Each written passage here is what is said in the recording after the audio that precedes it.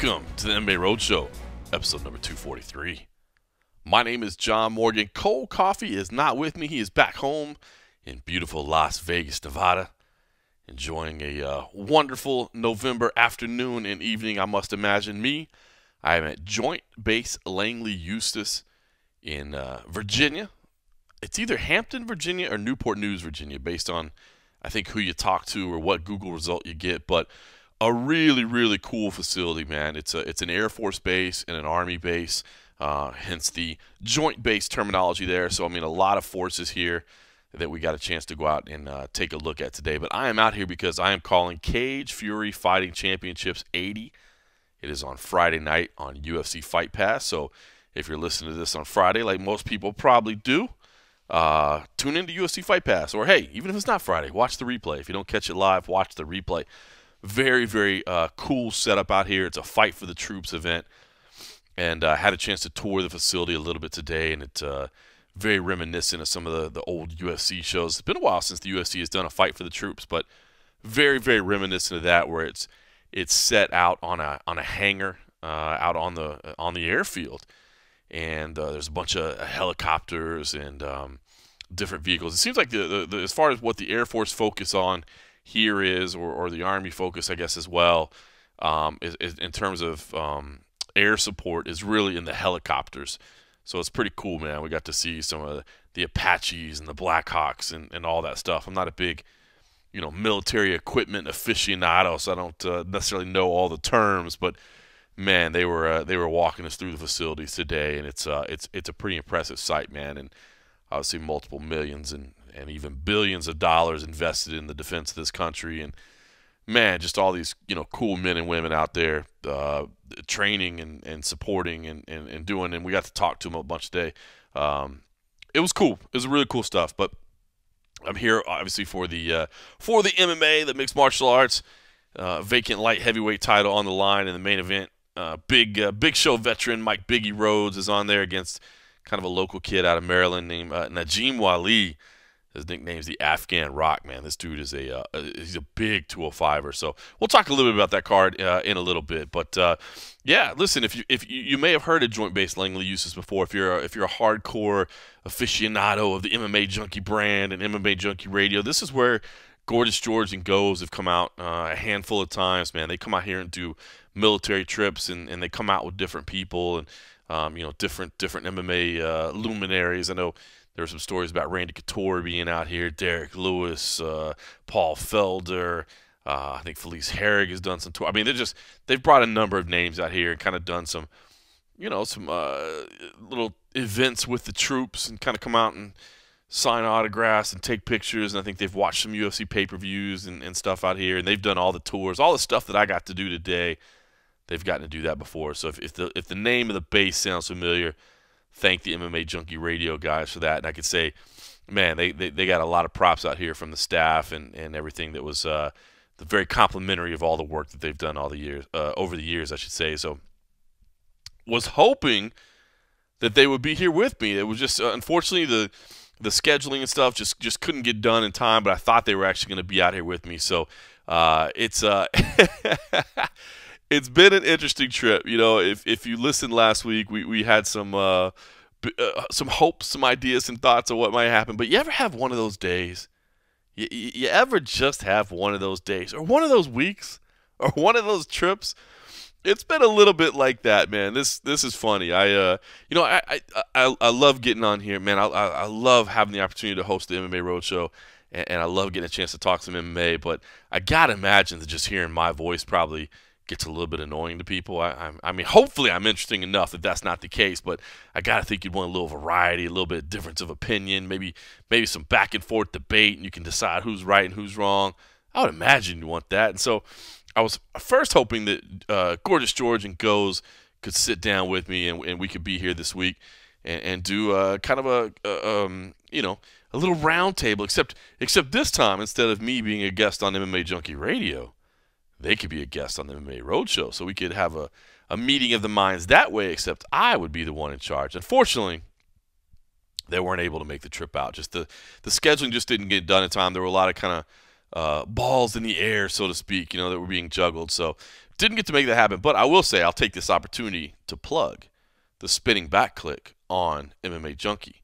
Uh, it's been fun. The last the last couple Mondays, we just kind of launched this new uh, video feature, and, and, we're getting together every Monday. Myself, Gorgeous George, and Goze, and, and, we're sitting down in, in this feature called the Spinning Back Click, and we're talking about you know big MMA topics. Five MMA topics is kind of what we're doing right now, but kind of rapid fire. You know, two, two minutes a topic. You know, three minutes at most if it's kind of the main topic. Two minutes on some smaller topic, or even one minute on some kind of express topics. Um, but it's fun, man. We get we get both of their opinions, and I kind of get to weigh in as well. And, and, we're doing it on video, and we're talking about maybe releasing on audio as well. But anyway, spinning back click, check that out. I'm in on MMA Junkie, um, and uh, I'll, I'll, be doing that next week as well. Um, so anyway, hope those guys would be here. They weren't, so it is what it is. It happens. All right. So next thing I think, well, no worries, no worries. You know what? We could have some fun with uh, my broadcast partners, CM Punk and Jessica Penne. All right, love love hanging out with those guys. Love working with them. Um, but that was my plan. Maybe we could all get together. Maybe we do a little roundtable. Maybe we, maybe the three of us could talk about some MMA topics. In fact, uh, heck, even CM Punk kind of kind of making some news. I guess if um, I, am not a big wrestling fan. I'm not. Well, I don't even want to say big wrestling fan. I'm, I do not follow wrestling at all. Uh, but uh, of course, uh, CM Punk uh, because of his connection to the UFC and because of his connection to to me in CFFC, definitely follow his career a little bit. He's getting back involved in wrestling. Uh, he's working for Fox. He's made that clear, working for Fox, not WWE, and uh, starting to get back involved in the wrestling world again and, and doing a, uh, a kind of a magazine type show, a studio show, if you will, talking about wrestling. Now, I thought it was a weekly show. Turns out um, it's not every week. So I don't know. I, am sure that's been reported. I doubt I'm, I'm, breaking news here or whatever. But I asked him when he got here, I said, oh, man, so you're doing this new weekly show. You're getting back into it. He's like, oh, hell no. He's like, I don't think I could do weekly, man. He's like, once or twice a month, something like that, I'll come in and, and, and we'll do the show. So uh, he's back involved in wrestling again. But I, I, I, say all that to say that, you know, he got held a little bit, um, a little bit late. So he arrived into town – later than he thought he was going to be because uh, on top of his wrestling commitment, they added some uh, some uh, video appearances on uh, on the Colin Cowherd show, I believe, on ESPN. So he had to stay back in L.A. an extra day, and he took the red eye uh, in late last night. Got in this morning. Uh, like I said, we always sit down on Thursdays to record this, and it was a, uh, a, a long night for him. So long night for him. So he's been he's been tired, but but he, he's good sport. Caught some naps, and then we got up and we went and, we went and did the weigh-ins and uh, fighter meetings. I mean, CM Punk, man, he he gets in there uh, and and kind of takes charge of the fighter meetings. If I'm being honest. Um, you know, myself, Jessica Penne, and, and him sit there, and really, I kind of let the two of them do most of the work, and, and they they do a great job of kind of you know asking the fighters what's going on, what they're thinking, you know, background, game plan, all that good stuff. So, um, you know, just like the big UFC shows, we get in there and do the fighter meetings, and, and he really kind of ran those. But the thing is, so we're doing the show on the base this week, and it's uh, like I said, the setup is going to be cool. I hope you guys will tune in and watch this show on UFC Fight Pass. I think there's some good fights, but if nothing else, just check out the scenery, man. I think it's going to be a, a really cool scene. In fact, there's a a Chinook helicopter, which again, I'm, I'm, I do not know the terminology a whole lot, but I'm learning about it. A Chinook helicopter, which is kind of that, uh, if you think about it, it's like a dual rotor helicopter. So I'm sure you've probably seen those before that the military uses. Um, I think for more like troop trans, it's, it's more of a, a, transport type helicopter than it is an attack helicopter. That'd be like the, the, the Apache helicopter, which which we saw today, which was uh, insane, man. The, the the amount of technology and stuff that goes on there and, and, and just what goes into it and what those things are capable of. It's crazy. Um, but the Chinook helicopter, kind of more of a, a, a troop transport, cargo transport type uh, helicopter, um, will actually be used in the opening. So the fighters are going to walk kind of through this Chinook helicopter into the fighter walk. So I think it's going to be a cool visual, man. And um, the public is allowed uh, on, onto this event, but it's going to be a lot of uniformed troops as well. So I really do think it's going to be a cool, cool scene. So I'm, so I'm, so I'm super excited about it. But I, I set all that up to say that uh, getting ready for this event, getting everything set up, it's a lot of work for the people behind the scenes. And, and CFFC has a, uh, a dedicated crew, but as, as any regional promotion is, it's it's not a crew that's you know heavy on staff. I mean, they've got to kind of run as lean as possible to be profitable at this level. So, you know, they're, uh, you know, they're doing a million things, and you know, this is not a casino. This is not a situation where there's a bunch of infrastructure already in place that you're just kind of plugging and, and, and playing. That's, uh, in fact, quite the opposite. I mean, everything that's being done has to be brought onto the base and set up, and and it's tough, man. It makes it just makes for more work. And and I mean, they are they are pros. They are getting it done, so that's not going to be an issue. It's just there's a lot more steps than there is for like, when, when, for instance, when we do a show in Atlantic City or we do a show in Philadelphia. You know, some of these casino partners, that's easy. You know, they've got the venues there. The lighting just comes in. You set that up rig, You know, no, not not the case here. So anyway, uh, it's just everything ran long. Meetings ran a little bit long. Everything, everything just thing takes long because it takes longer to get everything done. So the schedule kind of went to hell, and uh, unfortunately, no Jessica Penne and no CM Punk. was not able to pull them aside. It just got late. To be honest, it's it's it's way later than I, than I wanted to sit down to record. But hey, man, 243 consecutive weeks. We have not missed a single week, and that sure as hell is not about to start now. So that didn't happen. So Plan A didn't happen exactly the way I wanted. Plan B didn't happen exactly the way I wanted. But then I said, you know what? You know who I can reach out to. I, I know who I can reach out to for some extra insight my man Simon Head, he's over there in uh, England. Of course, him and Abby Subban are working together um, to cover Bellator Europe 6 MVP versus Melillo. Yes, not I know, kind of a new name there. Michael Venom Page facing a newcomer now. Got to let Bellator off the hook a little bit. That wasn't their plan going in, but it's it's what ended up happening. They lost a headliner, so they brought in Giovanni Melillo, who – uh, actually to be reminded by Dan Tom. I, I forgot about that. Was actually on the Venator FC card several years ago uh, that myself and Michael Chiesa called uh, over there in Milan, Italy. So uh, I had to kind of pull back the, the, the, the, pull up the records and pull back the tape and go, oh yeah, now I remember who this guy is. I thought it was somebody I'd never heard of before, but I do remember. So, um, so anyway, I turned to Simon Head and I said, "Listen, Simon, need a need a need a big favor from you, bro. If you don't mind, do you mind just doing a you know maybe a 10 to 15 minute segment, kind of fill us in on what's going over there? I'm sure maybe if you're a hardcore fan, you might have seen the the uh, the news a little bit, man. I mean, there was some some madness over there, uh, and and not even from, from people that are that are fighting, uh, but your man your, your man James Gallagher." Uh, and Mike Kimball got into things over over at uh, a media day in London ahead of the event. Now again, um, they're not they're not fighting each other at the event, but that didn't stop things from happening. They definitely made some headlines. So um, I thought I'd get his insight over there and then just maybe a preview of the card. And Simon Head, being the all pro that he is, he said, "Bro, I got you. Done. Don't even worry about it." It was late at night. He's had a long day. He's got weigh-ins in the morning. But he's like, man, you know I'm a fan of the road show. I got you. And he did. And he, he sat down and he recorded everything. And then he uploaded it. And uh, I downloaded it. And somewhere between him and me, things didn't go right because there's about 14 minutes of silent audio. so I don't know what happened, but the, the problem is, unfortunately, Simon Head's asleep right now as he should be because he's got to get up early for these uh, the weigh-ins in the morning. And of course, uh, the cold coffee is back home in Vegas waiting on the audio. So Plan A with the Junkie Radio crew fell through. Plan B with CM Punk and Jessica Penne fell through. Plan C with uh, Simon Head fell through. So it's it's one of those days, man. It's one of those days, but the show must go on. and I'll say this it's not a bad place for the show to go on. So we're staying on the base. We're staying at a place called the General Smalls Inn. It's like a little hotel. Um, I mean, it's just a normal hotel, but you know, like anywhere on the road. I mean, nothing fancy, but just a typical hotel.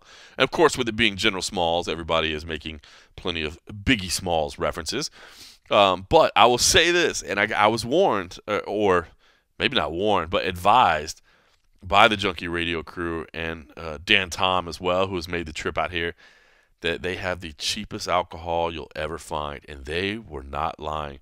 Uh, the you at the at the front desk. Now they don't have a bar, unfortunately, so that's a little weird. Um, but they have a lobby where you can kind of hang out and get a couple cocktails. And the front desk has uh, frosty beverages for a dollar twenty. That is all included, and of course there's no there's no tax on that, and of course there's no tip because you're just buying it from a basically the same person that checks you into your hotel room for one dollar and twenty cents per bottle. And then they also have room service. Uh, you know, like the room, like I say room service, like the room service bottles are what you would get on an on an airline. Um, they got bottles of alcohol there, so I got a, uh, the the Crown Royal here for uh, for three dollars uh, a bottle. So you know, just a little small one, but it's like three dollars a shot, right? So I, I, you know, I, I was having a couple cocktails downstairs with everybody. We were wrapping up our meetings, and once we got our meetings wrapped up, I said I gotta go record the road show. And I said, let me get a couple frosty beverages. Well, a couple. I said, let me get six frosty beverages, and let me get three of these Crown Royals as well to go. So six Budweisers, three Crown Royals, and it came to a grand total of sixteen dollars. God bless. God bless. Can't beat it. uh, so looking forward to the card. I, I, hope you tune in. I do want to talk about it briefly in just a second. But first, I, I did want to go over the UFC real quick. Now, this is a rare weekend without a UFC. Now, rare for most weekends. Get used to it, man. Uh, you know, we're gonna we're gonna have some weeks coming up, and, and, and no complaints, man. Uh, December 14th is UFC 245 in Las Vegas. That's going to be a phenomenal card. The next week, December 21st, is uh, the UFC over in Busan, South Korea. There is no end of year show this year. Okay, there is no Christmas week show. There is no New Year's Eve, you know, week show. Um, in fact, January 18th is the first show of the new year for the UFC. So we're talking about a good, you know, four week stretch where there's not going to be any UFC events. It's good. It's good, man. You know, one of the things about covering the sport is we just don't get a break from it, right? I mean, we talk about oversaturation all the time, and and I think part of the reason is is not, you know, nobody ever talks about oversaturation in baseball where you play 162 games a year. But the thing is, you get three, you know, three, four months away from it, right? You you get time, some absence to make the heart grow fonder. And so when when I hear people talk about you know UFC oversaturation or MMA oversaturation, I get it. I understand where they're coming from. You know me if you listen to the show. I don't believe in that. I, I think it's great, man. The more opportunities, the better. The more chances there are for these people to make a living, the better. The more chances they have to fight, the more opportunities, the better. But what happens is there's not enough time away to kind of miss the sport a little bit, to miss the events because it's all year long. You know, a lot of the the um, some I say a lot, but several of the PR team that works for the UFC came from baseball, or they've done baseball at one point or another, and you know, I talked to them about that's where I'm like, dude, that's got to be a grind, man. 162 games, and think about that, 162 games, and if you cover baseball as a journalist, there's a there's a pre-fight all right, pre-fight. There you go. Just dialed into me.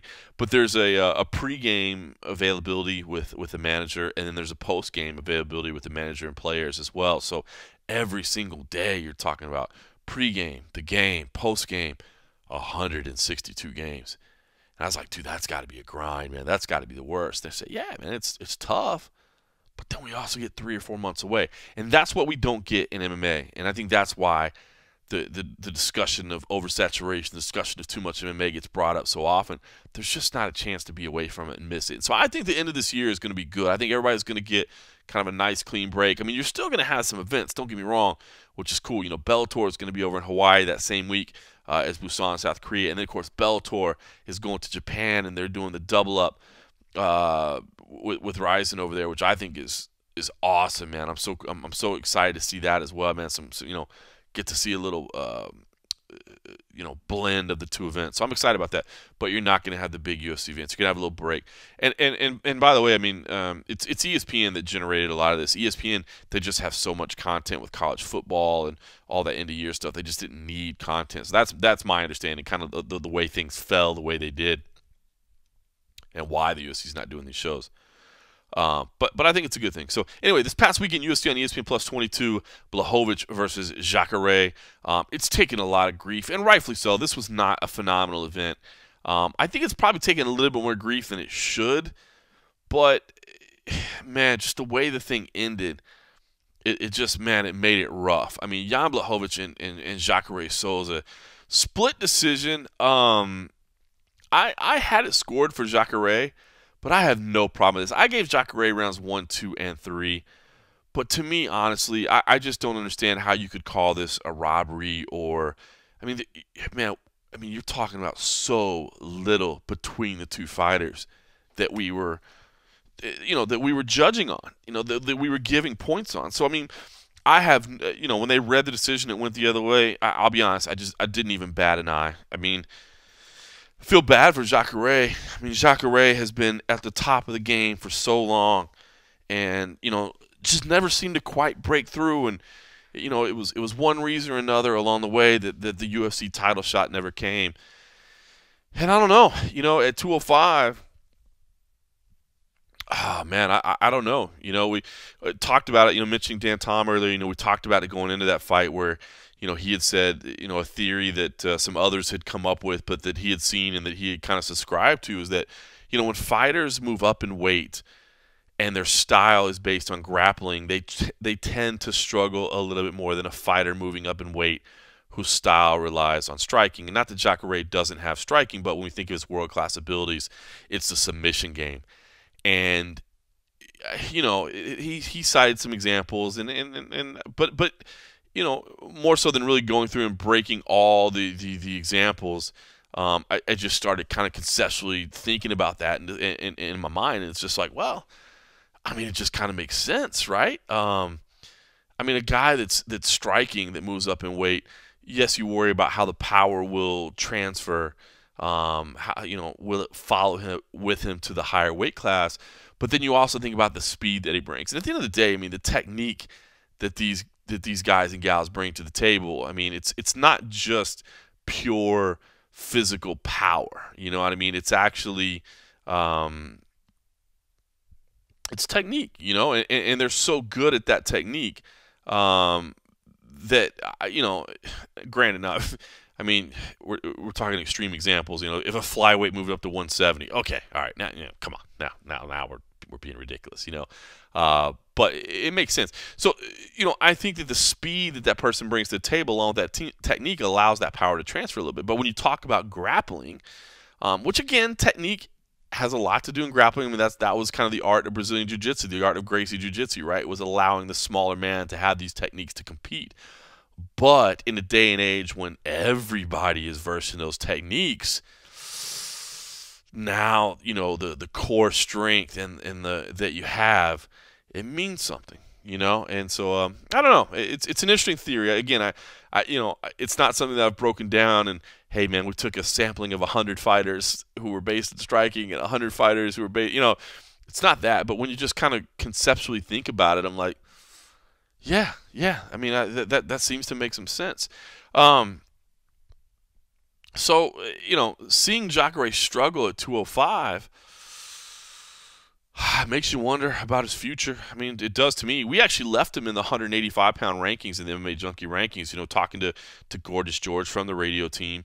Um, you know, we have a little bit of flexibility. I mean, he moves one one time, he could easily move back. Um, I, I don't know what the future is. I mean, Jacare turns 40 in December. Uh, you know, is, is his home at 205? Is it is it 185? I'm not sure, but um, that was disappointing. But it, to me, it was also disappointing from Jan Blachowicz because I just don't understand. I mean, I get it. You got to fight safe, man. You got to fight safe. I, I, get it. Jacare is dangerous, and you don't know what he's going to bring to the table, and there's some studying to do, and there's some mystery involved in the new weight class. But at some point, man, you got to make an adjustment. You got to change the strategy. You got to do something. Especially, look, if you're just, you know, I've lost three fights in a row, and I got to win, or I could get cut. Cool, cool, do that. But Jan Blachowicz is out here talking about a title shot.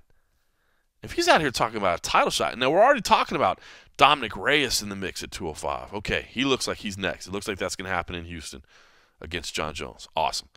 Cool. Corey Anderson believes he deserves a piece of the title. All right. Um, and, and, he's got an argument. You know, he, has got an argument for why he does. And I like the fact that he's chirping and he's staying busy because Corey Anderson's kind of a quiet, reserved guy. Um, the fact that he's doing it, I like it. You, you, you got to do something to stay interesting. Cool. So he's probably number two. I mean, to me, Corey Anderson waits for for Dominick Reyes, Jon Jones. He's number two. But Jan Blachowicz is out here trying to get a title shot as well, and he's got look, he's six and one his last seven. The only loss, Thiago Marreta Santos, who went on to fight for the title. So to say that you're right there, it's not it's it's it's not absurd. It's not absurd. But dude, you got to do something that um, makes people want to see it. Makes people want to see it. And and and I just don't see how this made people want to see it. It just so that was the that's what was disappointing me. That's what was disappointing me is that I, I just I, I, would have liked to see, and I like Jan Blachowicz a lot, man. I really do, man. He's a good dude, um, and and man, he can be dangerous on his best day. He can be dangerous, and he knows that the end is coming. But that just did nothing in terms of trying to trying to sell me on on a, on a fight, man, on on a, on a title shot. Just yuck, yuck, yuck, yuck. Not not a great main event. And the problem was not a great main event and five rounds at that, but followed by that weird split draw between Paul Craig and Mauricio Shogun Rua. And this fight puzzled me for so many reasons, man. It really did. It puzzled me because I don't understand what Paul Craig was doing, and I like Paul, man. I am such Paul is such a again talking about good dudes and you know the the Scottish accent and he's always fun to talk to man he's such a, a you know cutting jokes and uh, just always a good person to be around on fight week but you know intense as well he comes in with the Scottish war paint and um, man you know he's had some amazing you know moments in his career I mean the Magomed Ankalaev fight where he was just getting absolutely starched for three rounds and then gets the submission at the 459 you know mark of round three. I mean that's insane. I mean that uh, so he's had some great moments. I just don't understand what was going on in this fight, man. I really don't. Um, and, and to be honest, I just feel like Paul Craig threw the fight away, man. I mean, Shogun is a, is a crafty veteran, and his best days physically are definitely behind him. But as far as mentally, um, his toughness, his durability, he's, I mean, like Shogun's not giving up. He's not going away. Um, and he battled through this, but I really do feel like Paul Craig gave the fight away. Just poor, uh, I guess fight IQ is the right word, or at least just you know game management. I guess if you want to go that way. I just don't understand what the strategy was. So, uh, and and then I don't understand the score. I get, I I I do totally, I get the 28-28 score. I understand the draw. The round one as a 10-8 does not appall me. Um, but uh, I don't know, man. I, I, thought it was very clear that Shogun won rounds two and three. So the you know the at, the very you know at the I guess it, you know at the end of the day if everybody had it 28-28 it's still a draw so maybe it doesn't matter but I don't know just want to see scores where I'm like how do you, how do you how did you judge that for that person in in terms of who won I and the thing that really frustrates me about that when, when, when I feel like the scores, like you just didn't correctly identify the round winner, is that when we had these discussions about, you know, how do we fix judging, and I see a lot of very educated, very smart people say, man, you know what we need? We need half points. We need half points in MMA. The judges need half points, man. That would be better. And, you know, when I look at fights where I'm saying, look, we didn't even correctly identify the round winner. If we didn't correctly identify the round winner, how in the hell – can we say that we want the judges now doing half points? If they can't even determine the right guy that won, how can they determine whether it's a 10 9 and a half or 10 9 or 10 8 and a half? That's why the I don't disagree with the concept of a half point system. I don't, but I just don't think we're there yet. If we're admitting that our judges are picking the wrong guys, why do we want another variable to make their job harder? I just I, I don't I, I don't get that argument. I never will get that argument. So I don't know, just weird. So when you had those as your final two fights, and then here's the other thing. So so this is why I say I think people were being a little too hard on this card because as the prelims were going on, you know, even internally on our chat and Junkie, we're like, oh man, this you know prelims are moving along, man. On ESPN Plus, there's no filler. They're not going to the desk. They're not doing any of that. Um, and, and, and there were some good fights. I mean, um, you know, started out with Tracy Cortez. Uh, Tracy Cortez had a really entertaining win over Vanessa Melo. I like Tracy Cortez a lot, man. She has an incredible backstory, man. Just this heart wrenching story. She made it through the contender series. Um, and she's fun, man. She goes out there and bangs. She scares me a little bit because she seems to get hit a, a, a, little too much. I think she's too willing to, to, to take a shot to give one. So that scares me a little bit. But man, she went out there and, and, and was banging and, and, having some fun. Um, second round was a little slow, kind of stalled in the clinch. But anyway, I like Trace Cortez. There's some there's some excitement there. I liked uh, the Ariane Lipski versus Isabela de Padua fight. Um, kind of some, uh, you know, Ariane Lipski has the ability to be really good. She hasn't shown it in her UFC career, and she showed it here, but she also had some um, some difficulties as well. So I mean, I, to me, that fight was entertaining, man. It was there was tension, even though the score was rather one sided. Uh, Isabela de Padua, man, she taking the fight on what like 30 hours notice or something. I mean, she came. I thought she gave a, a great um, effort, man. I thought she really did, man. I thought she showed that, hey, let, yeah, listen, I came here on weird circumstances, but I deserve it. So cool. So I'm happy, man. First two fights, women's fight. Douglas Silva de Andrade uh, picks up the, the win over Renan Barão. Tough, man. I always knew this was man. Douglas Silva de Andrade. He, he's he's he's just a little tank, man. Just an absolute little tank. And Renan Barão. Ah, everybody's calling for his retirement, but you know he's he's out there fighting hard, and maybe he's going to get cut by the UFC. But I mean, a, a, a, you know, a decent fight nonetheless. And Randy Brown comes out and really picks up the pace. Submission win over Warley Alves. I mean, Randy Brown by submission over Warley Alves. I mean, amazing. I, I told you guys going in, I thought this was going to be a good fight, man. I was really looking forward to this fight. Didn't think it was going to be Randy Brown by submission, but I thought it was going to be a banger. Francisco Trinaldo versus Bobby Green. Another one where Bobby Green, um, and I and I and I said it, you know, on our internal Slack chat as the fight was going on, reminds me of the uh, the pre-resurrection era Jorge Masvidal, where Bobby Green is slipping and moving and rolling and not not you know not taking punches, but then just doesn't have the output back. And I think that's why he ends up costing himself rounds, man. And I think Masvidal used to have it a lot. You know, he's kind of the king of the split decision loss forever. Um, until obviously now he's taking things to a whole nother level. But that's what it reminded me of with Bobby Green. Um, I think he's fun, man. I think he's fun to watch, and I think he's super talented, um, and he's slick. But man, he, he, he gets in these things where, you know, I, I don't want to say it's like sparring or it's he's comfortable. He's slipping shots and he's rolling with it and he's moving and he's not taking damage, but he's not doing enough to give it back. And I think that's why he ends up costing himself rounds. And um, I mean, Francisco Trinaldo is a tough, tough dude, man. You can't afford uh, to give away rounds like that, man. And I and I really did. I didn't like the 30-27 score for Francisco Trinaldo, um, but I I, I I saw it coming, man. I just I, I felt I was like, man, Bobby Green's falling into the shell and uh, and cost him, man. And it sucks, man. I know he was frustrated. I know you could see it in his face, and, and I understand why. Um, but I, I, don't think the scores were unjust, to be honest with you. Uh, and I think if Bobby Green would just ramp up the output a little bit more, he'd probably, you know, take home these wins. So there was that. And then Ricardo Ramos comes in, gets a submission win over Eduardo Garagorri. Ricardo Ramos looks like a real talent, man. He really does. And then James Krause, man – just absolutely schooled Sergio Moraes and, and got the third round finish. Big result for James Krause. Um, so, I mean, I thought the prelims were good, man. I honestly really did. And then you got the Wellington Turman versus Marcus Perez, which was just not incredibly exciting. Uh, ditto for Andre Muniz versus Antonio Arroyo. I don't know what Antonio Arroyo was doing, man. I just – Ah, man, yeah, both these fights were a little bit frustrating. So the the, the, the, you know the main card started off kind of grinding to a halt. Then you had Charles Oliveira come in and get the uh, the big finish over Jared Gord. Charles Oliveira, nine years in the UFC, and I feel like he's finally coming into his own.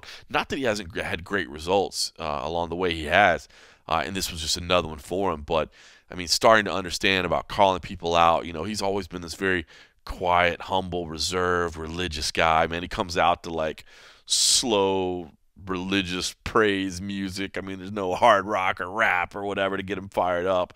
Um, but he's finally understanding that, you know, as respectful as he wants to be, man, you got to make some noise.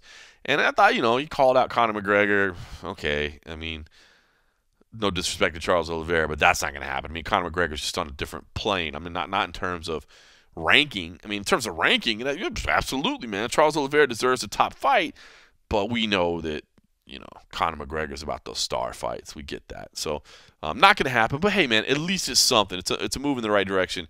And Charles Oliveira, man, I I mean the guy is firing on all cylinders. Um, and I, and I, man, I've been a big fan of his forever. And like I say, still only 30 years old after nine years in the UFC. That's crazy. I mean, we've literally watched this kid grow up, man. I mean, we've seen him hit a growth spurt. You know, I always talk about when he first came into the UFC. I think he was like 5'10 at the time. Now he's like 6'1. And he grew while he was in the UFC. He was so young when he came in.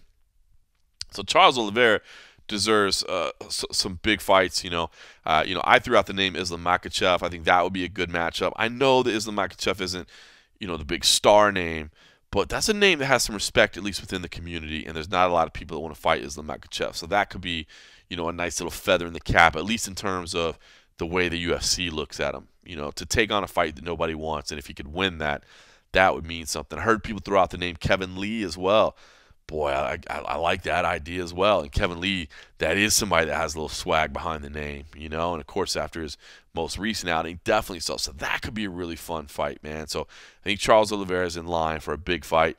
Um, you know, he did mention potentially Paul Felder. Which would be good. It would make some sense. I mean, Paul Felder beat him back in December 2017. So, of course, understanding why he'd want a rematch.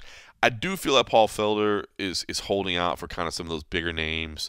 Um, and just not a rematch. I think Paul Felder knows he's doesn't have a ton of time left fighting. Not that he has to be done, but it's just that you know he's he's turning into a, a fantastic commentator as well. And I, I, don't think there's a you know I, I don't think he he thinks there's a you know just time for him to take fights that aren't directly a move up. You know, so um, we'll see, we'll see. But a big result for Charles Oliveira. But then of course we got we got to that co-main event, main event. So just not a great great uh, way to finish the night in Brazil. But I mean, everybody's been just trash this card. I did think the prelims were were better. It was just the main card was a was a rough go. Fortunately, we were not planning on doing an and a half uh, for that card just because I thought the interest was a little bit low going in, and um, you know we were we, we had some other stuff going on at the time, so uh, didn't didn't didn't have to try to pull one together afterwards, which was a, a, a very would have been a tough night to do it because I was I was uh, I think we were all ready to be done with MMA for the night that night. So um, listen, like I said, a rare non uh, UFC week this week. Still plenty of MMA action now. By the time you listen to this, uh, one championship will probably be uh, in the books. Um, that said, not missing a lot there. Um, this is um, it, it's a card over in Singapore. There's quite a few kickboxing fights on it. The main event's kickboxing, so a little bit more undercard driven. Uh, you do have uh, Colbey Northcutt, though. However, of course, the sister of Sage Northcutt. Man, uh, fingers crossed. You know, man. Uh, you know, obviously she saw what happened to her brother last time out. Man, I, I I, mean, I can't imagine you can think about that. I mean, I, I gotta imagine you, you have to put that out of your head. But man, I mean, that's your that's your your flesh and blood right there, you know, and you saw what happened. So hopefully nothing like that is in her mind uh, as she steps in there because it's, certainly not healthy to have those types of thoughts. But um, of course, Colbey Northcutt, a name. Yes, uh, you know, uh, uh she's 0 and 1 in mixed martial arts, so it's not like we're saying she's going to run out and win a title. But of course, her name is going to draw some interest. Uh, Cage Warriors is actually happening uh, Friday morning as well. That'll be on UFC Fight Pass double event week in London, England. So was talking to some judges and some some referees this week. They're doing both. So they're doing Cage Warriors on Friday, and then Bellator on Saturday. Again, Bellator Europe Six, um, which uh, a little bit easier this time because it's not like the crazy dual event where it's Bellator Europe Six and Bellator 237 or whatever. It's not that. Um, so my understanding is, as best I can tell, which I will say it's a little frustrating sometimes because now we got we got Paramount, we got DAZN, we got the Bellator app. I mean, look, these cards, the Bellator Europe cards, are designed for the European audience. There's no question about. It. They're on terrestrial TV over there, so um, you know, for the European fans, it's awesome. It's in prime time. It's on regular TV. Um, it's easy if you're a U.S. fan. It's a little bit harder to find. Um, but hey, you know that's the way it goes sometimes. They those poor Europeans have been watching UFC cards at like four in the morning their whole life. So uh, give give them give them give them a, a, a, a, you know throw them a bone every now and then. And, and there's a couple matchups, ton of fights on here. Um, but there's a couple fights definitely worth paying attention to. Of course, Michael Page again, uh, MVP versus Gianni Melillo in the main event. Fabian Edwards, uh, the brother of Leon Edwards, the undefeated prospect there against Mike Shipman. That's a fight that has fireworks written all over it and it's been tried to pull together for quite some time.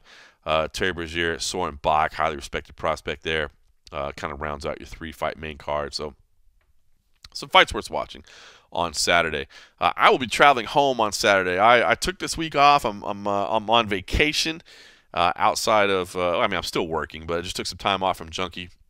Try to burn my vacation days before the the the year is over. Why waste those days, right? If your employer gives them to you, might as well take them. But I'm out here again, uh, UFC Fight Pass CFFC 80. So hopefully you will tune into that. Uh, just to give you a, a, a, couple quick highlights on it, things worth watching.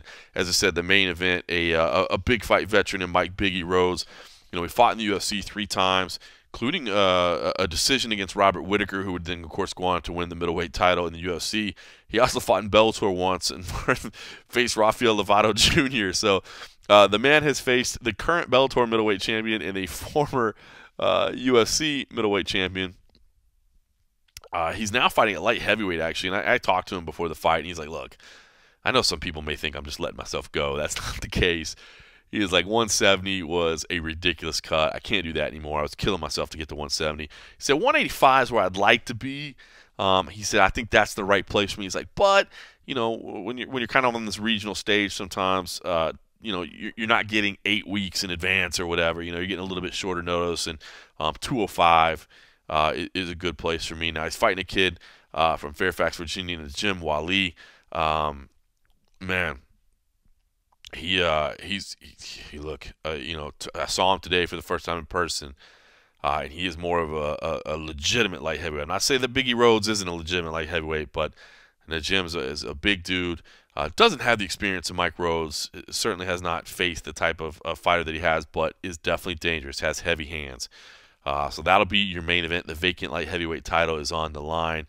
Uh, the co-main event is a uh, 225-pound catchweight bout. William Knight is on the card. Remember William Knight, the Nightmare, uh, got the UFC developmental deal uh, through Dana White's Contender Series. Has already had one fight. Now they got the Contender Series uh, appearance in August, um, and then fought. I want to say in October, I believe, for CES MMA. And now here he is in November, uh, fighting his second fight on the developmental deal. Um, but he's fighting a guy uh, named Tafon Dadon uh, Nchukwi, and uh, Tafon is um, man is is uh, is a 2-0 prospect as well, and uh, says he actually he's seen William Knight, you know, on his way up.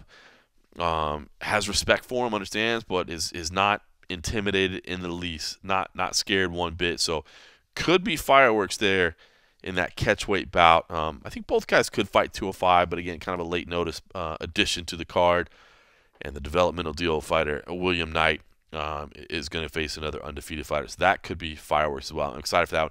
We were supposed to get uh, Jamie Pickett on this card. Jamie Pickett was a two-time contender series fighter. Uh, came up short in both of them, but um, you know lost to a, a, couple guys that ended up going on to um, the UFC. They basically, you know, they both ended up getting uh, contracts uh, off their wins over him. So uh, Charles Byrd and then uh, Punahele Soriano. So uh, no, no, no, no shame in that.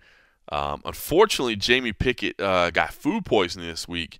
Um, before he showed up, I think he, before he got here, as he was on his way here, whatever, he started getting sick. So uh, before he even, you know, kind of got settled in here in Virginia, uh, he, he was getting sick, and so unfortunately that that uh, that fight was waved off. Bummed for uh, Rafael Celestino. Rafael Celestino was going to be his opponent. Came all the way from Brazil. Um, so, you know, a long flight not to get a fight. And then, of course, uh, the side story there as well was Rafael Celestino uh, has a military background as well. So it was going to be pretty cool for him, a Brazilian military veteran, uh, to get to fight on a U.S. military base in front of the troops. That fight's not happening. That was that was kind of a bummer. But um, those top two fights are still going to be big. And then uh, a, a, kind of a fun one heavyweight, a, a, local Virginia versus Virginia rivalry. Chandler Cole, five and one. Uh, Chandler Cole, not the guy that is going to strike you uh, the first time you see him as oh man, this guy's got greatness written all over him. You know, he's he's admitted he could shed a few pounds along the way, but uh, has five uh, five finishes. I think four in the first round. Um, wrestled in college. I mean, he's got a, a background there uh, and uh, work, works at a maximum security prison in addition to being a, a local football coach and a local wrestling coach. He was kind of a, a multi sport athlete growing up. So, uh, interesting there.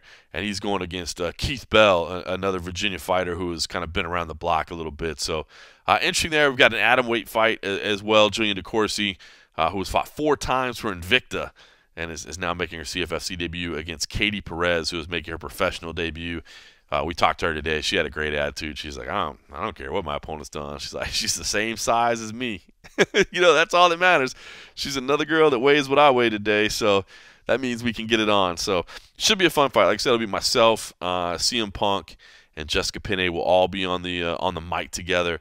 And then uh, I believe the, the, way we've got it set up, there's no backstage area this time, so Jessica Penne will be doing the in-stage interviews. So looking for that, and it's on UFC Fight Pass again. Hopefully you can watch it live. If not, at least catch the replay. I think it's going to be a cool show uh, in the uh, in the hangar here. Uh, at uh, Joint Base Langley Eustis, which is a cool facility, man. It's been a really long day today, and top of all the complications that happened, uh, both uh, with the road show and, and just with you know pulling everything together on a military base. Uh, we, we got to go out and, and, look around today, which was awesome, man. They took us all around the base. Um, started out on the water. I guess this is one of the like the only. I think they said the only Army uh, military installation that has uh, like a maritime factor to it as well. You know, they had a bunch of boats and stuff. So they took us out there and you know walked us through some of these boats, which were cool. Um, man, living on a boat good lord, it crammed up in there. you know, they were talking about the living facilities.